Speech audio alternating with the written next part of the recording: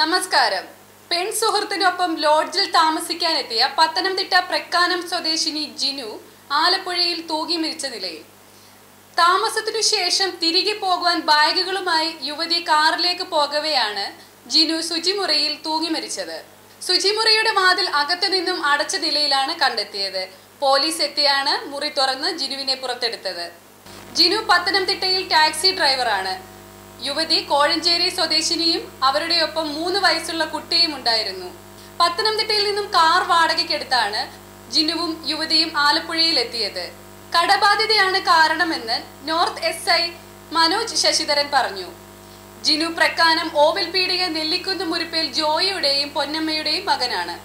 സംസ്കാരം ഇന്ന് രണ്ടിന് സെന്റ് മേരീസ് മലങ്കര കത്തോലിക്ക പള്ളിയിൽ നടക്കും. മറ്റൊരു വാർത്തയുമായി വീണ്ടും കാണാം.